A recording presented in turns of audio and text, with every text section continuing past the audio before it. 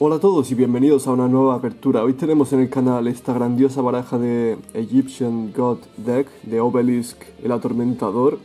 Está muy muy guay, creo que es una de las dos últimas barajas que ha salido a la venta. Y también estaremos abriendo 8 sobres de esta gran edición, Ancient Guardians. Sin más, empezamos. Ya tenía ganas de abrir una edición que sea bastante reciente, la verdad. Últimamente hemos estado abriendo algunas barajas antiguas y estará bien ver algunas de las cartas que se utilizan hoy en día. Y um, en esta edición en concreto hay cartas Collector Rare. Parece una rareza bastante especial, así que será complicado que salga. Pero bueno, intentaremos conseguir alguna de ellas como el Dino Luchador Pancrateratops, el amo de las calaveras, el Godo Abyss, estaría bastante guay. Ese sería este de aquí. Pero bueno, a ver qué nos sale. Empezamos con Ignite Reload. Un Snake Rain. Viper's Rebirth. Un Solfacord Música un Ursar, hmm, Megatanus, Ole, King of the Feral Imps, bastante guay. Y creo que la última será un Keurse de Ogdoadic Light. No está mal, ahí podéis ver la ilustración. Así que parece que la carta más rara nos viene al final de todo. Y supongo que sería también al final de todo donde podría salirnos una Collector's Rare. A ver si tenemos suerte y hoy aparece. Voy a ir separando estas. Y continuamos. No me he mirado mucho de esta expansión, pero creo que, bueno, el, el arquetipo más común será Ogdoadic, que en castellano es muy parecido, es Ogdoádico. Ahí lo tenemos. Está muy guay la primera carta. Se llama Magister Paladin de Ascending Draco Slayer. Muy guay. Un Light Serpent. Un Dino Wrestler Pancratops. Un Ursaltic Wind Charge, Offering to the Snake Deity, otro Ink Knight Reload y la última será un Sol Sol Court, Gracia, una carta de péndulo que está bastante guay la ilustración. Ahí la tenéis. La separamos por aquí y continuamos. Me había llamado la atención también este. Acabo de mirar esta carta ya que mm, en castellano se llama Pancrateratops y me extrañaba que le metan un, tera por ahí en medio en castellano. Pero se ve que esta sería la carta más cara de la edición si nos aparece en su rareza Collector's Rare. Así que estará bastante guay ver si la conseguimos. También debe ser bastante útil en, en competitivo, digamos, porque muchas veces las cartas, el precio de ellas va ligado a lo que se puedan utilizar en el juego. A ver qué tal. Tercer sobre, me encantaría la verdad que saliese una Collector's Rare, también para saber cómo es exactamente esa rareza. A ver si es en este sobre. Vamos con Rise of the Snake Deity. Un King of the Feral Imps Evil Dragon Ananta, bastante guay.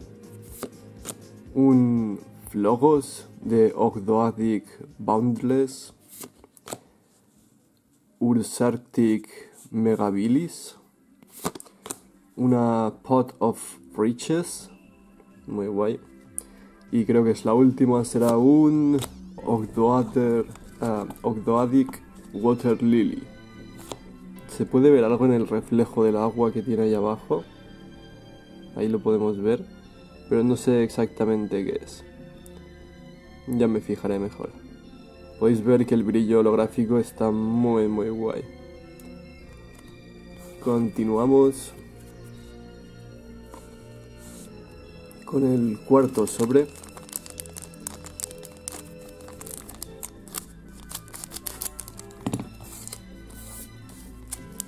Podéis dejarme en comentarios también qué caja de sobres os gustaría que abriese de Yu-Gi-Oh! Yo intenté encargar una caja de King's Court, bueno, como la corte del rey, no sé cómo se llama en castellano exactamente, pero se estaban retrasando mucho con el envío y al final lo cancelé. Pero bueno, podría pedir esa edición o alguna otra. Vamos con Viper's Rebirth, un Ogdoadic Colin, Ignister Prominence de Blasting Draco Slayer. Creo que también hay unos cuantos Draco Slayers en esta edición. Snake Rain, Ogdoadic Origin. Ole, otro, vale, otro dino luchador Pancratops. Y em, la última será un Dosolfacort Cutia. Bastante guay. Así que parece que otro arquetipo de esta edición será Solfacort. Lo dejamos por aquí. También otra carta de péndulo, creo que se nota bastante cuando son de péndulo. Y vamos con los cuatro últimos sobres.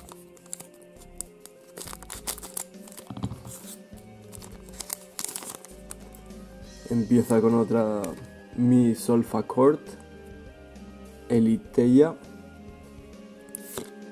un Wavering Eyes, la ilustración es 10 de 10. Bueno, ahí lo podéis ver desde arriba.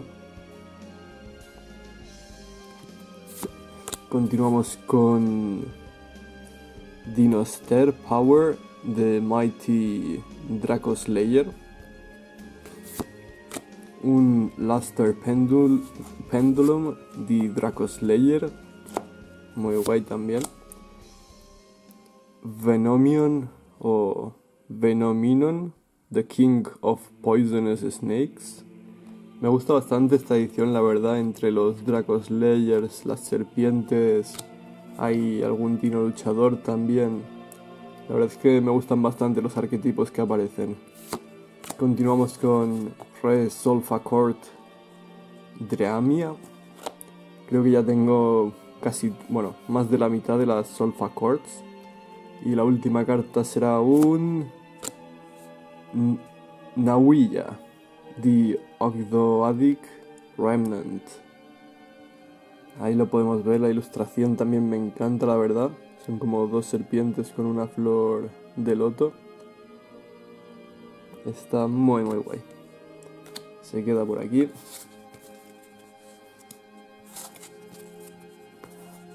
Y tres últimos sobres.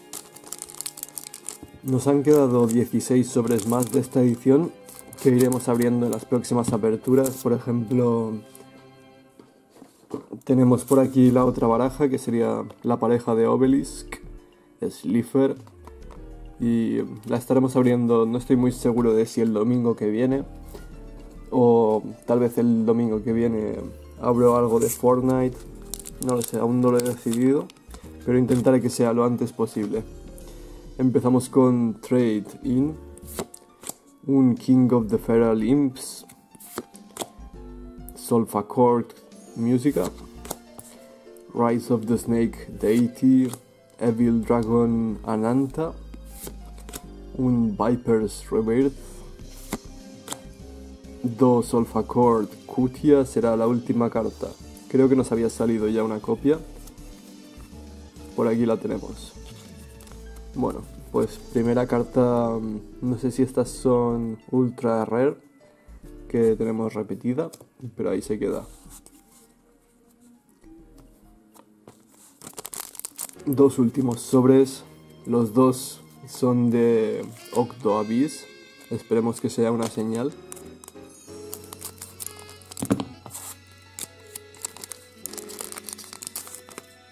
Empezamos con Luster Pendulum de Draco Slayer. un Zoa, the Ogdoadic Boundless, Dino Power the Mighty Draco Slayer, Ursarctic Megatanus, Offering to the Snake Deity, un Light Serpent, y la última será Aleir, hmm, Aleirt, the Octoadic Dark. Ahí podéis verlo, se queda por aquí. Último sobre. Tal vez en esta apertura no consigamos ninguna Collector's Rare, pero yo espero que en toda la caja por lo menos nos salga alguna. Empezamos con Solfa Court Scale,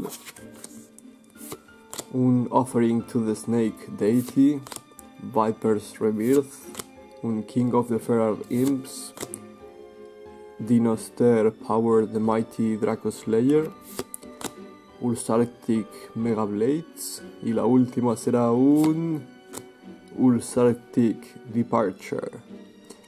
Se queda por aquí. Parece que no es una colección muy grande, porque por ejemplo en este sobre creo que todas las cartas eran cartas que habíamos conseguido ya. Así que debe ser una colección un poco pequeña. Bien, esta seguiremos investigando en la próxima apertura. De momento pasamos a esta grandiosa baraja. Que si alguien quiere ver la parte de atrás, lo puede pausar ahora. Empezamos. Ya le hemos quitado la caja de cartón y lo primero que podríamos ver sería este tapete que por la parte de atrás nos viene con algunas estrategias o sinergias de esta baraja. Y bueno, en concreto esta sería nuestra baraja. Y en este lado está la de Slifer, de Dragon Sky. En la otra parte imagino que será un tapete con una ilustración bastante guay, con dos de los dioses egipcios. Ahí tenemos a uno y el otro por aquí. Lo dejamos todo esto en su sitio y pasamos directamente a las cartas. A ver si encuentro el abre fácil. Que bueno. Al final, como te ponen esta cosa de publicidad, viene bastante bien. Porque puedes pillar una tijera, hacerle así. Y perfecto. Todo solucionado. Ahí tenemos nuestro abre fácil. Se queda, he quitado todo el plástico y solo se ha quedado la línea del abre fácil la parte más resistente. Vamos allá. La primera carta será Obelisk de Tormentor. Un Soul Crossing. Muy muy guay la ilustración. Un Feast of Fate. Divine Evolution. De momento todas las cartas son brillantes. Eso está muy muy guay. No sé si será toda, la baraja, la verdad es que me extraña. Level Resist Wall. Un Angel 01. Mare Mare. Un Harpy's Feather Duster. Nimble Momonga. Kazu, the Soul Eater. Cyber Dragon. Otro Nimble Momonga. Me suena que venían tres en la baraja. Ahí tenemos el tercero. Un Hardened Armed Dragon. Super Nimble Mega Hamster. Un Evil Swarm Mandragora. Photon Saver Tiger. Otra copia. Un Evil Swarm Salamandra. Raz Disciple. Otra copia. Y otra copia. Unmask Dragon. Nimble Beaver, un Witch, muy la ilustración. Githmeka Yuka, The Festive uh, Fox of uh, Fecundity. Githmek Makami, The Ferocious Fanged Fortress. Brain Control, Monster Reborn. Different dim Dimension Capsule. Pot, Pot of Avarice, Double Summon, un Forbidden Calice, muy guay la ilustración. Forbidden Lands, Forbidden Dress y Supply Squad. The Monarchs Stormforth, Call of the Hunted, Cloning, Drowning Mirror Force, creo que será la última, sí. Y aquí tenemos publicidad de Duel Links, la otra cara por aquí. Y esto será um, Yu-Gi-Oh! Legacy of the Duelist Link Evolution para PlayStation 4 o Nintendo Switch. King's Court, esta es la caja que intenté comprar, pero bueno, estaban tardando mucho así que se lo cancelé. Pero bueno, no me molestaría volver a comprarlo, así que ya, ya me decís en comentarios. Esto ha sido todo en cuanto a la apertura de hoy. Espero que os haya gustado y nos vemos muy pronto con más. Adiós.